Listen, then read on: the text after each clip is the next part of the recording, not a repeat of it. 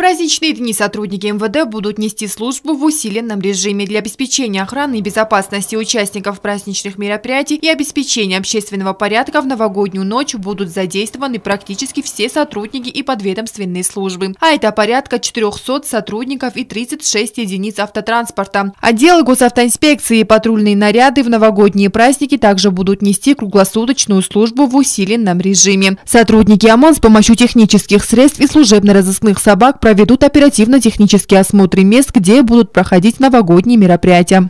В данных мероприятиях э, будут участвовать усиленные наряды милиции, будут произведены инженерно-саперные разведки в местах проведения массовых мероприятий. Э, э, также будут с 8 часов вечера выставлены усилены патрульные экипажи, которые будут патрулировать как районы города, так и э, э, всю территорию республики. В местах проведения массовых мероприятий пропуск граждан будет осуществляться через контрольно-пропускные пункты с применением металлодетекторов. Что касается э, пресечения противоправных действий, Э, также будут усилены у нас стационарные посты ГИБДД в целях недопущения э, проезда и использования автотранспорта э, в корыстных целях. Также у нас предусмотрено мероприятие по охране объектов государственного значения, там здания, э, жизнеобеспечения э, и учреждения, э, они тоже у нас будут э, взяты под э, усиленный режим охраны. В этом году театральная площадь не будет перекрыта для передвижения автотранспортных средств. Что касается проведения мероприятий, значит, у нас в связи с ограничительных мероприятий по поводу вот, COVID-19 у нас в республике ограниченные мероприятия.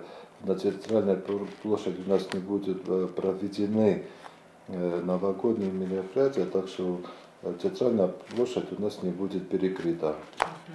В новогоднюю ночь. Но у нас э, на центральной площади будут стоять усиленные патрули по охране общественного порядка. Также сотрудниками МВД проводятся рейды по предотвращению неправомерного применения огнестрельного оружия во время новогодних праздников. В случае выявления подобных фактов будет аннулирована лицензия на ношение оружия. Правоохранители также предупреждают предпринимателей об административной ответственности за продажу пиротехнических изделий. Пользуясь моментом, хочу предупредить граждан города, что в отношении лиц, которые будут у нас